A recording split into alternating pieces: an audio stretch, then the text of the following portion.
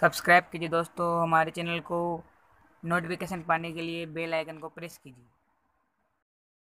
Good morning student माँ Gyan Bharti group of education में आपका ऑनलाइन क्लास के अंदर जो है स्वागत है। आज हम सोशल साइंस का जो है पहला ही चैप्टर है, स्वर्णिम भारत, प्रारंभ से लेकर 1206 ईस्वी तक। इसको हम पढ़ेंगे। हिस्ट्री के अंदर। तो इसमें स्वर्णिम भारत में आप देखिए कि भारत का इतिहास। वसुदेव कुटुम्बकम के आधार पर रहा है।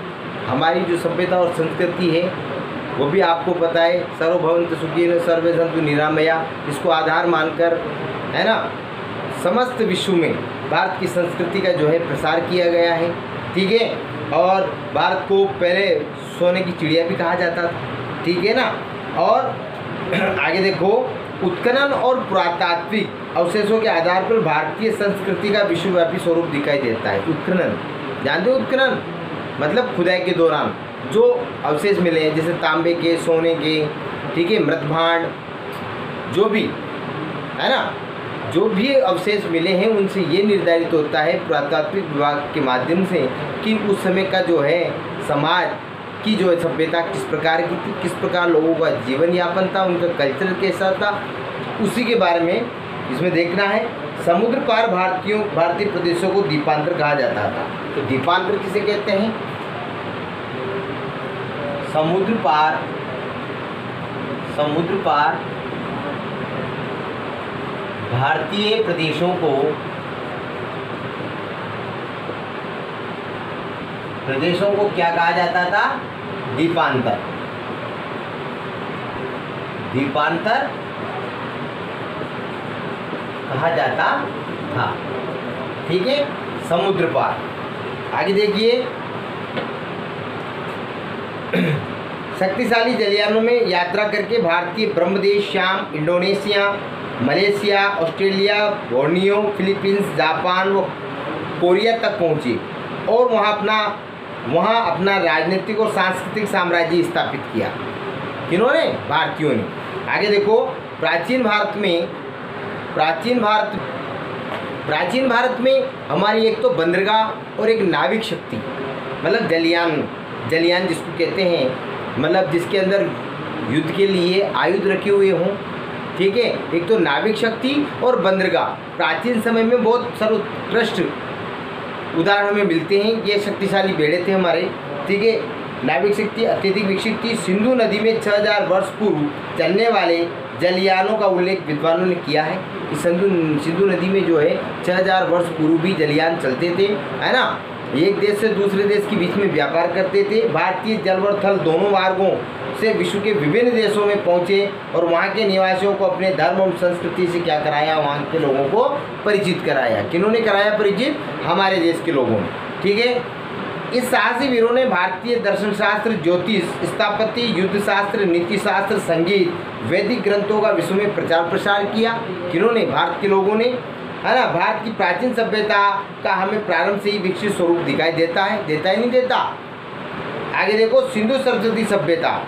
सिंधु सरस्वती सभ्यता से तात्पर्य सिंधु नदी और उसकी सहायक नदियों की तलटियों में या उनकी किनारों पर। लोगों ने जहाँ, लोगों की जो बस्ती, बसी, लोगों ने जहाँ पर जीवन यापन किया मतलब आप जानते हो कि लोग कहाँ पर जीवन यापन करेंगे जहाँ पानी उपलब्ध होगा। पानी की उपलब्ध अनुपलब्धता के बिना वो वहाँ नहीं रह सकते। तो सिंधु सिंधु नदी के किनारे पर, अर्थात उसकी जो पाँचों सहायक नदियाँ हैं, उनकी किनारों पर या तलटियों पर जिन लोगों ने जीवन यापन किया उसको कहते हैं सिंधु सभ्यता, सरस्वती सभ्यता सरस्वती का वर्तमान में गग्गर नाम है। है कि नहीं? गग्गर नाम है लेठी नदी, मृत नदी। तो इसके किनार पर या इसकी तलहटी के पास बसने वाले लोगों की सभ्यता को सरस्वती सभ्यता कहते हैं, ठीक है? वैदिक सभ्यता, वैदिक, जब वेदों की वेदों की रचना हुई, महर्षि वेदव्यास की, के द्वारा, है ना? चारों वेदों की रचना होने के उपरांत, उस समय का जो काल था, वो वैदिक सभ्यता का काल कहलाया। ठीक है, रामायण और महाभारत कालीन सभ्यता एवं संस्कृति का काल भी भारत का क्या है? स्वर्णिम काल। ठीक है, आगे देखो। वेदों को विश्व ज्ञान कोश के रूप में जाना जाता है। वेदों को किसके रूप में जाना जाता है? विश्व ज्ञान कोश के रूप में। वेदों को किसके रूप में जाना जाता है? वेदों को वेदों को विश्व ज्ञान कोश विश्व ज्ञान कोश के रूप में जाना जाता है। किसके रूप में जाना जाता है? विश्व ज्ञान कोश के रूप में। ठीक है? आगे देखो आप लोग। सिंधु सरस्वती सभ्यता स्थापत्य की दृष्टि से सर्वोत्कृष्ट सभ्यता रहेगी सिंधु सब, सिंधु जो सभ्यता है, ठीक है? वो क्या रही है? सिंधु सरस्वती सभ्यता, सिंधु सरस्वती सभ्यता मतलब सिंधु और सरस्वती के किनारे पर जो लोग बसे हैं, उनकी जो सभ्यता है, उनका जो कल्चर है, उनका जो जीवन यापन करने का तरीका है, वो क्या है? अपने आप में एक सर्वोत्कृष्ट है, ठीक है? रामायण और महाभारत काल के विभिन्न आदर्श एवं नीति ग्रंथों के रूप में प्रसिद्ध रहे हैं। रामायण और महाभारत जो ग्रंथ रहे हैं, वो हमारे क्या रहे हैं? नीति ग्रंथों के रूप में महत्वपूर्ण माने जाते हैं। उनके सिद्धांत हमारे जीवन में आज की वर्तमान में भी अपनाए जाते हैं। ठीक है? आगे देखो। हमारा महाजनपद काल, हमारा महाजनपद काल गणतंत्रात्मक संवैधानिक व्यवस्था का आदर्श रहा है। महाजनपद काल क्या रहा है? गणतंत्रात्मक और संवैधानिक गणतंत्र का मतलब लोगों के द्वारा चुनी हुई सरकार के माध्यम से शासन संचालन करना। ऐसी व्यवस्था को गणतंत्रात्मक कहते हैं। अब बात आ जाती है कि राजतंत्रात्मक शासन किसे कहते हैं? मतलब राजतंत्रात्मक शासन उसको कहते हैं जिसमें राजा का लड़का या उसका उत्तराधिकारी ही राजा बने। ऐसी व्यवस्था को क्या कहते हैं? राजतंत्रात्मक कहते हैं। गणतंत्रात्मक और लोकतंत्रात्मक में क्या होता है? जनता अपने मत का प्रयोग करके अपने प्रतिनिधि को चुनती है। अर्थात अपने राजा को चुनती है। ठीक है ना? तो यह है बात। मान जनपद काल में क्या व्यवस्था थी? गणतंत्रात्मक और संवैधानिक व्यवस्था थी। उत्तर वैदिक काल में हमें विभिन्न जनपदों का अस्तित्व दिखाई देता है। इस काल तक पूर्वी उत्तर प्रदेश तथा पश्चिमी बिहार में, पूर्वी उत्तर प्रदेश और पश्चिमी बिहार में लोह का अत्यधिक मात्रा में उत्खनन होना पाया गया है। ठीक है? आगे देखो। व्यापक रूप से उपयोग किया जाने लगा था। लोह तकनीक ने लोगों के भौतिक जीवन में बड़ा परिवर्तन लाई। लाई नहीं लाई भौतिक जीवन में। आज लोहे का आविष्कार नहीं होता है उसका उत्खनन नहीं होता तो क्या रेल पटरियों पे दौड़ पाती? नहीं दौड़ पाती ना? आगे देखो। तथा इससे समाज में स्थायी जीवन यापन करने की प्रवृत्ति सुदृढ़ हो गई। कृषि उद्योग कृषि, उद्योग, व्यापार, वाणिज्य आदि के विकास से प्राचीन जनजातीय व्यवस्था को क्या कर दिया? धीरे धीरे जर जर बना दिया। जनजातीय व्यवस्थाएँ जो थी, वो क्या करती थी? जंगलों में जाकर अपना जीवन यापन करती थी, जड़ी बूटियों को कलेक्ट करती थी। है ना? और उनको लोगों को बेचती थी, उनसे उनका जीवन यापन होता था। लेकिन कृषि में नवाचार, उद्योगों में नवाचार, वाणिज्य में नवाचार होने की दशा में जनजातियों की जो उद्योग थी मतलब उनका जो पेशा था, उनका जो काम करने का तरीका था धीरे धीरे शिथिल पड़ गया, अर्थात जर्जर हो गया। जनता के बीच उनकी, उनका क्या नहीं रहा फिर? प्रभाव नहीं रहा, क्योंकि तकनीकी ज्ञान के माध्यम से जो भी टेक्निक्स आई, है ना? उनको लोगों ने अपनाया और पुरातन जो व्यवस्था थी, जंगली जंगली लोगों की अर्थात जनजातीय लोगों की, उन व्यवस्थाओं को लोगों ने मानने से क्या कर दिया? इनकार कर दिया, इसलिए उनका उद्योग क्या हो गया? जर्जर हो गया। तथा छोटे छोटे जनों का स्थानीय, बड़े जनपदों ने ग्रहण कर लिया। ईसा पूर्व छठी शताब्दी तक आते आते जनपद किसका रूप ले लिए जनपदों ने, महाजनपदों का रूप ले लिया। ठीक है? छठी शताब्दी ईसा पूर्व के प्रारंभ में उत्तर भारत में सार्वभौम सत्ता का पूर्णतः अभाव था। उत्तर भारत में किसी एक शक्ति का नियंत्रण नहीं था। छोटे छोटे राज्यों में उत्तर भारत बटा हुआ था, अर्थात जनपदों में बटा हुआ था। संपूर्ण भारत अनेक स्वतंत्र राज्यों में क्या था? विभक्त था, अर्थात बटा हुआ था। ये राज्य उत्तर वैदिक राज्यों की अपेक्षा अधिक क्या थे? बेटा विस्तृत और शक्तिशाली थे। विस्तृत और क्या थे वो? शक्ति तो देखिए छोटे छोटे जनपद मिलकर महाजनपदों का निर्माण किया गया। अब महाजनपद काल की अगर हम बात करते हैं तो 600 ईसा पूर्व से 325 ईसा पूर्व तक का काल जो है महाजनपद का काल कहलाया अब महाजनपद की जो है, सर्वप्रथम व्याख्या अगर हम बात करते हैं तो बौद्ध ग्रंथ अंगुत्तर निकाय के अनुसार, बौद्ध ग्रंथ जो है, अंगुत्तर निकाय, उसमें इस बात की व्याख्या की गई है कि महाजनपदों की संख्या जो थी, वो कितनी थी? सोलह थी।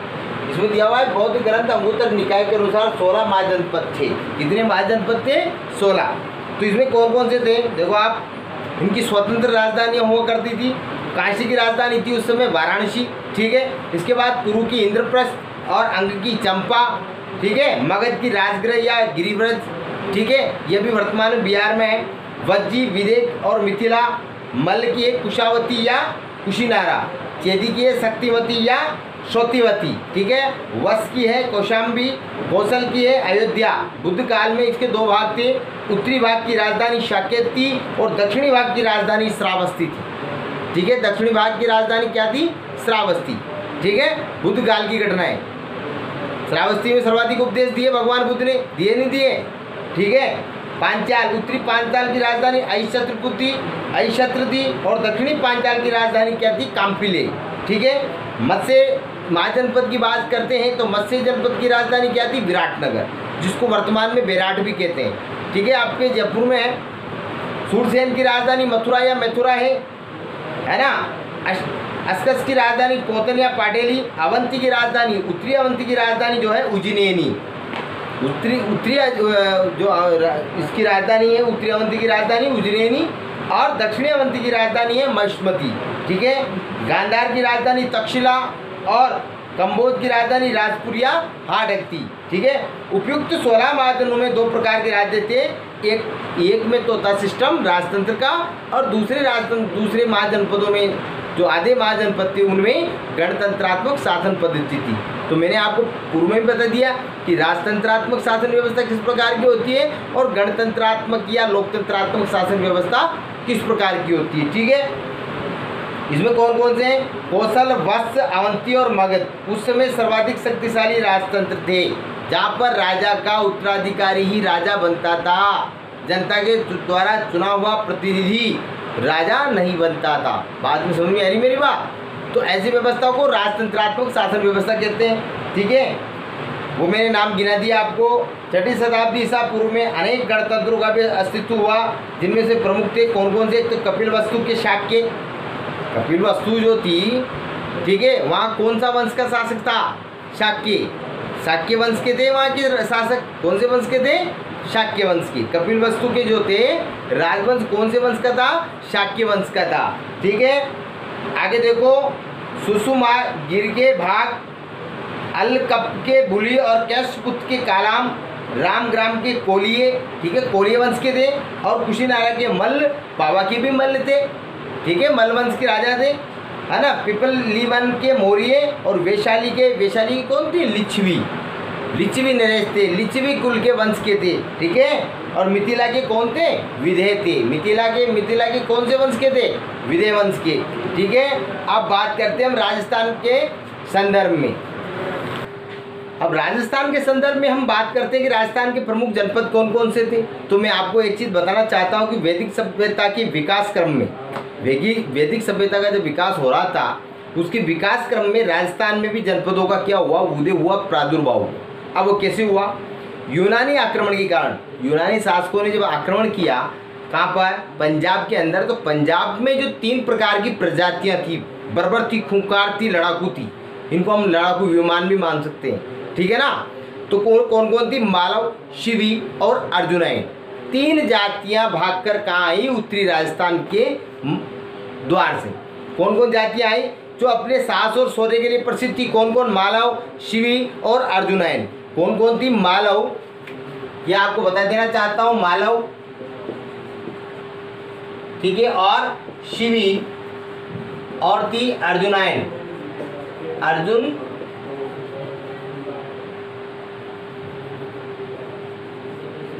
अर्जुनायन। तीनों जातियाँ जो है, पंजाब से भाग कर आई। पंजाब पर आक्रमण किया यूनानी शासकों ने। ठीक है? अब ये आने के बाद ये अपने आप में क्या थी? लड़ाकू थी, साहस में निपुण थी। कौन? कौन कौन मालव, शिवी और अर्जुन अर्जुनायन ठीक है? ये किधर की ओर आई? राजस्थान की ओर आई। कहाँ से आई? पंजाब से आई ना? देखो, और पंजाब और राजस्थान की सीमा कहाँ पर टच करती है? आपको पता है, उत्तरी राजस्थान में टच करती है ना हनुमानगढ़ और श्री गंगानगर से। ठीक है? करती नहीं करती? देखो आप इसमें आगे। राजस्थान में आई वो यहीं पर क्या करने लगी? निवास करने लगी। यहाँ पर रहने लगी वो जातियाँ। इस प्रकार राजस्थान के पूर्वी भाग में जनपदीय शासन व्यवस्था का जो है प्रारूप प्रारूप, सूत्रपात हुआ। अब इसमें प्रमुख जनपद हम देखते हैं तो जांगल। प्रमुख रूप से राजस्थान के जो जनपद की बात करते हैं तो उसमें सर्वप्रथम किसकी बात करते हैं हम? जांगल की। अब जांगल प्रदेश वर्तमान में कहाँ पर है? जांगल प्रदेश वर्तमान में बीकानेर बीकानेर और जोधपुर जोधपुर जिलों में है। कहाँ पर है? वर्तमान में, मैं आपको बता देता हूँ। वर्तमान के परिप्रेक्ष्य में अगर हम बात करते हैं कि जांगल प्रदेश कहाँ पर है तो वर्तमान के परिप्रेक्ष्य में जांगल प्रदेश बीकानेर जोधपुर के हिस्से में है। ठीक है? आगे देखो। महाभारत काल में जांगल देश कहलाते थे। क्या कहलाते थे प्रदेश? जांगल देश। क्या कहलाते थे प्रदेश? जांगल देश कहलाते थे। ठीक है? कहीं कहीं इनका नाम कुरु जांगला कहीं कहीं कहीं कहीं अभिलेखों में इनका नाम क्या मिलता है? जांगल प्रदेश का नाम कुरु जांगला और माद्रे जांगला भी मिलता है। क्या क्या मिलता है? एक तो मिलता है कुरु जांगला ध्यान दीजिएगा क्या क्या मिलता है। क्या क्या मिलता है? कहीं कहीं अभिलेखों में इनका नाम, जांगल प्रदेश का नाम कुरु जांगला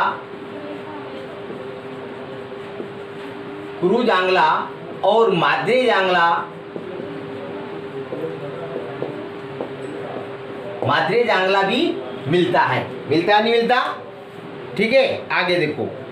इस जनपद की राजधानी अहिशत्रपुत्री बात कर रहे हैं हम जांगल प्रदेश की। कौन से प्रदेश की? जांगल प्रदेश की। राजस्थान का जो है प्रमुख जनपद है जांगल। ठीक है? अब इसकी राजधानी क्या थी? मैं आपको इसकी राजधानी बताना चाहता हूँ। राजधानी। जांगल प्रदेश की राजधानी देखिए अही छत्रपुर। अही छत्रपुर थी। वर्तमान में अहिर छत्रपुर कहाँ पर है? नागौर में। ध्यान देने योग्य बात है अहिर छत्रपुर कहाँ पर है? वर्तमान में आपसे पूछा जा सकता है कि वर्तमान परिप्रेक्ष्य में जांगल प्रदेश की राजधानी किस जगह पर अवस्थित है या स्थित है? तो आप देख सकते हैं इसके अंदर, वर्तमान में नागौर में है। है कि नहीं? आगे देखो। जिसे इस समय नागौर कहते हैं, बीकानेर के राजा इस जांगल देश के स्वामी होने के नाते, बीकानेर के राजा जांगल देश के स्वामी होने के नाते, राजा होने के नाते बीकानेर प्रदेश के राजा को जांगलधर बादशाह की उपाधि से नवाजा गया था। किससे नवाजा गया था? इसके राजा को क्या कहते हैं? जांगल प्रदेश के राजा को ध्यान देने योग्य बात है जांगलधर बादशाह। जांगल दर बादशाह।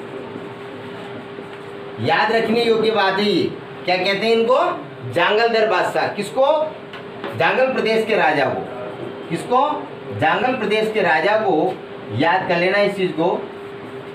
क्या कहते थे? जांगल दर बादशाह कहते थे। ठीक है? और आगे देखो आप। बीकानेर राज्य के राज्य चिन्ह में जय जांगलधर बादशाह लिखा मिलता है। बीकानेर राज्य के जो क्या है? राज्य चिन्ह है। उसमें क्या लिखा मिलता है? जंगल जांगलधर बादशाह। जय जंगल दर बादशाह मिलता है। तो आप याद रखने योग्य बात ये है कि आपसे क्वेश्चन पूछा जा सकता है कि जांगल प्रदेश वर्तमान में कौन जिलों में अवस्थित है? तो बीकानेर और जोधपुर में। जांगलधर जांगल प्रदेश की राजधानी वर्तमान में कहाँ पर है? यह कौन सी है? अहिरचंद्रपुर और पूछा जा सकता है कि वर्तमान में अहिरचंद्रपुर कहाँ पर है? तो नागौर में है और जांगल प्रदेश के राजा को क्या कहते हैं? जांगलधर बादशाह कहते हैं और जांग, जांगल प्रदेश का राज चिन्ह जो है, वो क्या है? जय जांगलधर बादशाह। ठीक है? बात समझ में आई? तो हम बात कर रहे हैं मत्स्य जनपद की। अब मत्स्य जनपद राजस्थान के संदर्भ में है तो मत्स्य जनपद वर्तमान में जयपुर के आसपास का जो इलाका है, वो मत्स्य जनपद के अंतर्गत आता है। क्या आता है? जयपुर के आसपास का इलाका। मत्स्य जनपद के नाम से जाना जाता है। इसका विस्तार चंबल के पास की पहाड़ों से लेकर, चंबल की पास की पहाड़ों से लेकर कहाँ तक? सरस्वती नदी से, सरस्वती नदी के जांगल क्षेत्र तक था। आधुनिक अलवर और भरतपुर। आधुनिक कौन कौन आता है अभी वर्तमान में? आपसे क्वेश्चन पूछा जा सकता है कि आधुनिक अलवर और क्या? और क्या बताया इसने? आधुनिक अलवर और भरतपुर राज्य का पूर्वी भाग। आधुनिक अलवर और भरतपुर राज्य का राज्य का पूर्वी भाग किसके अंतर्गत आता है? मत्स्य जनपद के अंदर आता है। ठीक है? आगे देखो। और इसकी राजधानी विराटनगर थी। इसकी राजधानी राजधानी की बात करते हैं हम, मत्स्य जनपद की राजधानी क्या थी? विराटनगर विराटनगर को वर्तमान में वर्तमान में क्या कहते हैं बेटाओ? बैराट कहते हैं। क्या कहते हैं? बैराट। समझ में आ रही मेरी बात? इसकी राजधानी क्या थी? विराटनगर और विराटनगर को वर्तमान में क्या कहते हैं? विराट ठीक है? आगे देखो। और क्या है? मौर्य शासक बिंदुसार से पहले मत्स्य जनपद की स्पष्ट जानकारी का अभाव था। मौर्य शासक जो था, कौन? बिंदुसार। अब बिंदुसार का भी उपनाम था मित्रोचेटस अब मित्रोचेटस से अभिप्राय शत्रुओं का नाश करने वाला। जब बिंदुसार पढ़ेंगे तो बिंदुसार की पूरी बताएँगे आपको कि यूनानी शासक कौन कौन आया था, उसके समय क्या क्या हुआ था, सारी चीज़ें। है ना? तो आगे देखो। बिंदुसार से पहले मत्स्य जनपद की स्पष्ट जानकारी का अभाव था। महाभारत में कहा गया है कि शासक सहज नामक एक राजा ने चेदी तथा मत्स्य दोनों राज्यों पर शासन किया। मत्स्य प्रारंभ से चेदी राज्य और कालांतर में ये विशाल मगध साम्राज्य का क्या बन चुका था? अंग बन चुका था। तो मत्स्य जनपद का पूछ ले कि आधुनिक या वर्तमान में कौन सी जिलों में स्थित है? तो आप बता बता सकते हो कि अलवर और भरतपुर का पूर्वी भाग। ठीक है? मत्स्य जनपद की राजधानी के बारे में पूछ रहे थे विराटनगर। ठीक है? विराटनगर अभी कहाँ है वर्तमान में? विराट में। ठीक है? है ना? ये चीज़ें। ठीक है बेटा? और कल पढ़ते हैं इसके बाद आगे।